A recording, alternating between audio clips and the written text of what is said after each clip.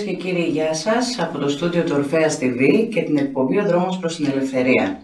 Σήμερα το θέμα μας είναι «Βίος και πολιτεία της Τρενοσέ». Μαζί μας έχουμε τον υποψήφιο βουλευτή Αναστάσιο Θεοχάρη με την Ελλήνων Συνέλευση.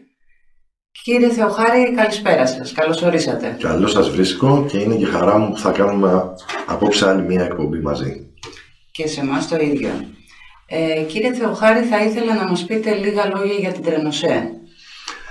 Μάλιστα. Ε, η Τρενοσέ ε, ιδρύθηκε το 2005 ε, ως θηγατρική του ΟΣΕ. Το 2008 έγινε ανεξάρτητη. Το 2013 ε, περιήλθαν μετοχές στο ΤΑΙΠΕΔ και το 2017 πωλήθηκε σε έναν Ιταλικό όμιλο εταιριών ε, για, για σιδηροδρόμους. Ε, αυτό που καταλαβαίνουμε είναι ότι προσπαθούν κάθε δημόσια περιουσία να τη σπάσουν σε κομμάτια όπως έχουν κάνει και σε άλλους οργανισμούς δημόσιους έτσι ώστε σιγά σιγά ε, εν ευθέτω χρόνο να τις ξεπουλήσουν. Δηλαδή τους δημόσιους οργανισμούς των Ελλήνων που είναι των Ελλήνων τα έχει πάρει το ΤΑΙΠΕΔ και τα ξεπουλάει. Τα κάνει κομμάτια και μετά τα ξεπουλάει. Ε, εξηγήστε μας λίγο τι είναι το ΤΑΙΠΕΔ. Το ΤΑΙΠΕΔ ε, βάσει μνημονίου ε, και βάσει μνημονίου, το, γιατί μπήκαμε στο μνημόνιο με πλαστά στοιχεία, έτσι όπως γνωρίζετε. Η Ελστάτ τότε με τον κύριο Γεωργίου είχε δώσει πλαστά στοιχεία στην Ευρωπαϊκή Ένωση και έτσι αναγκαστικά μας βάλανε. Βέβαια αποκαλύφθηκε και καταδικάστηκε ο κ. Γεωργίου το πλαστά, αλλά εμείς εξακολουθούμε και είμαστε στο μνημόνιο και έχουμε το ΤΑΙΠΕΔ το οποίο το ιδρύσανε για να διαχειρίζεται και την ιδιωτική και τη δημόσια περιουσία των Ελλήνων. Ε, ποιος ο λόγος της δημιουργίας της Τρενοσέ, που εξυπηρετούσε; Το έργο που είχε αναλάβει η Τρενοσέ ε, ήταν και επιβατικό και εμπορευματικό έργο. Επιβατικό είχε αναλάβει το υπεραστικό δίκτυο, δηλαδή όλες ε, ε του τρένου τις, ε, τα διαδρομές των επιβατών. Ε, έχει αναλάβει το προαστιακό, είναι της τρενοσέου προαστιακός, ε, τα διεθνή δρομολόγια, ε, τα εισιτήρια και τις προσφορές, την εξυπηρέτηση των πελατών, των επιβατών μάλλον, και τις, και, και τις υπηρεσίες για τους επιβάτες. Το εμπορευματικό έργο είναι για τις μεταφορές των εμπορευμάτων.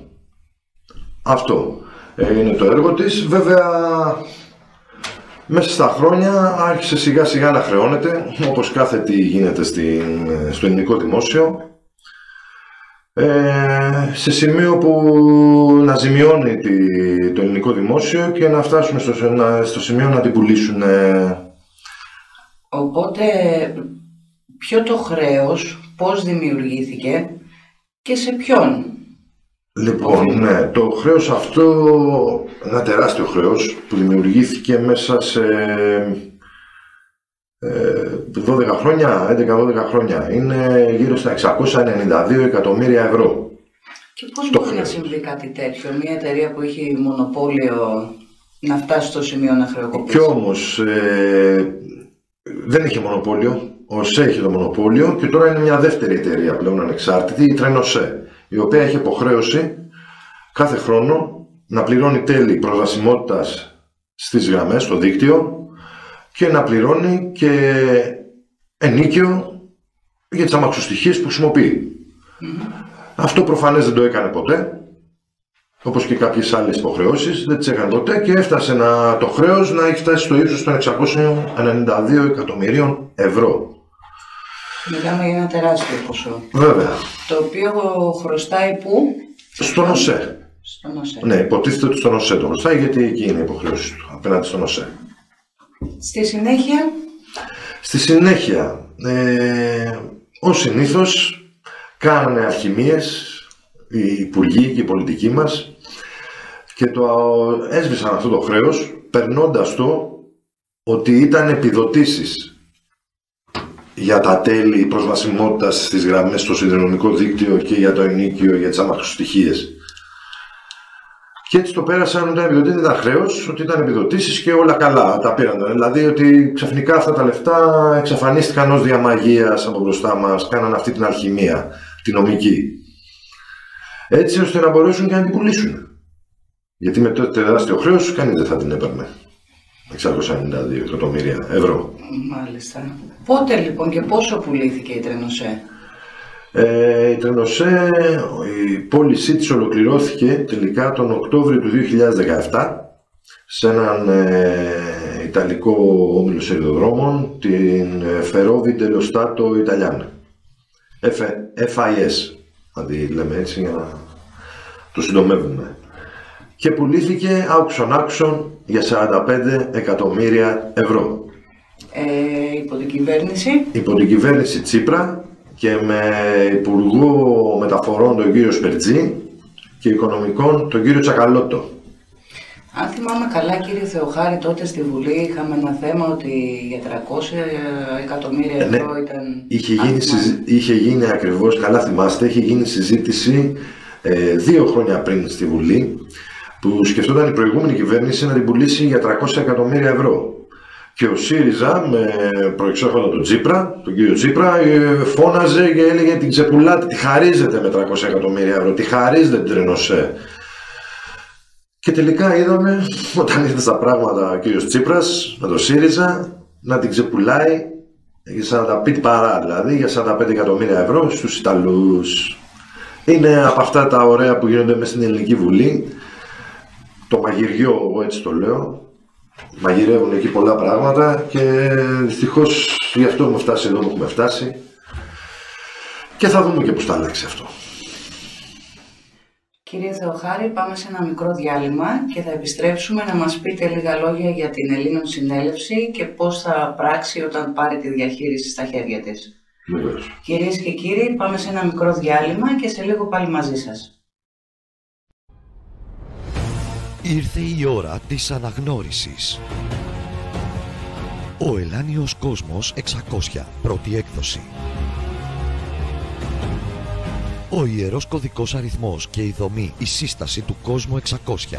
Το μοναδικό βιβλίο βιωματικής ανάλυσης που έχει γραφτεί για την ανθρωπότητα, για να καλύψει και να απαντήσει όλα τα κενά και τα ερωτήματα για τη δημιουργία του κόσμου. Τώρα ήρθε η ώρα. Ορίμασε ο καιρός να εμφανιστεί η ανάλυση και η διάσπαση του ελάνιου κόσμου 600, Αρτέμις Ώρας. Ένα βιβλίο μοίησης και αναγνώρισης της αλήθειας, γραμμένο κάτω από συνθήκες ομοιρίας του ίδιου του δημιουργού, 13 Δεκεμβρίου 2010 Όλοι μπορούν να αναγνωρίσουν το μεγαλείο του κόσμου τους ως μοναδικό, αληθινό, δικό τους μεγαλείο, Αρτέμις Ώρας. Κάνε την παραγγελία σου τώρα και πάρε στα χέρια σου το βιβλίο «Ο Ελάνιος Κόσμος 600» με το δικό σου μικρότερο αριθμό σειράς που είναι μοναδικός από την πρώτη έκδοση. Παρήγγειλέ το στο www.κοσμοθέαση.com Κυρίες και κύριοι, πάλι μαζί σας. Ε, μαζί μας είναι ο υποψήφιος βουλευτής με την Ελλήνων Συνέλευση, κύριος Αναστάσιος Θεοχάρης. Ε, θα ήθελα, κύριο Θεοχάρη, να μου πείτε λίγο ως βουλευτής της Ελλήνων Συνέλευσης ε, αν θα υπάρξουν κάποιες αλλαγές και ποιες θα είναι αυτές πάνω στο σίδηρο.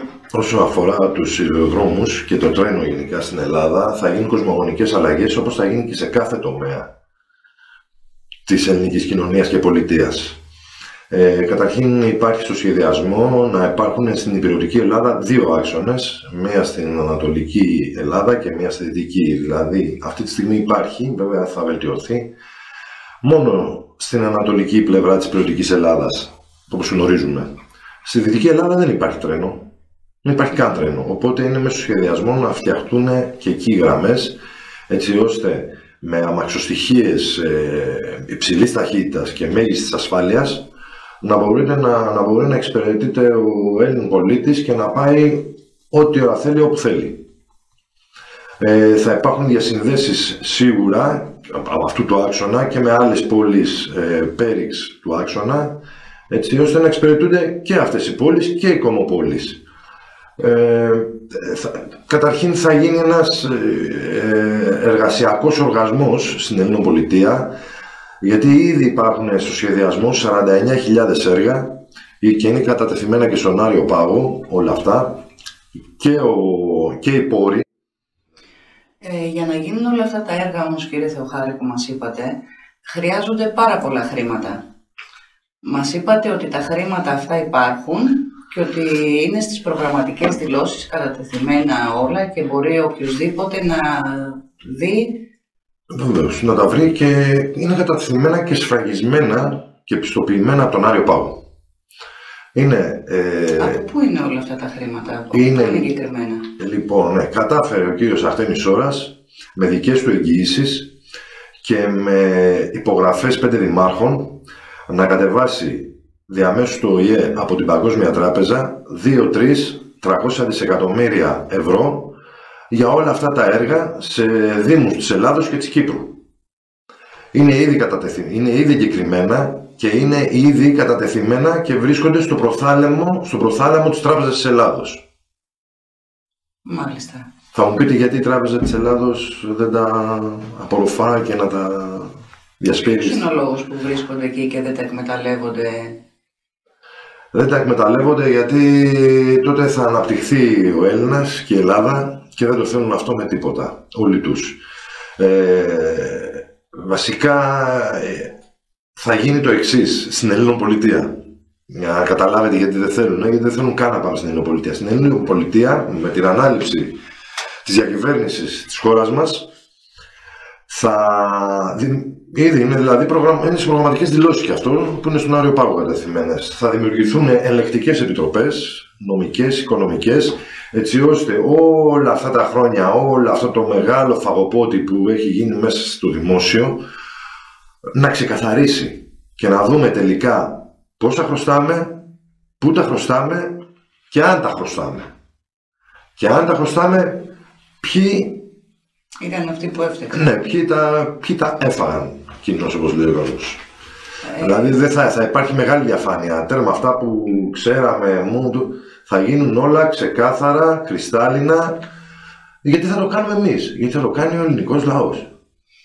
Θα ήθελα να μας πείτε οι προγραμματικές δηλώσεις ή κάποιος πολίτης που θέλει να έρθει να ενημερωθεί για όλο αυτό που εσείς ε, έχετε οργανώσει.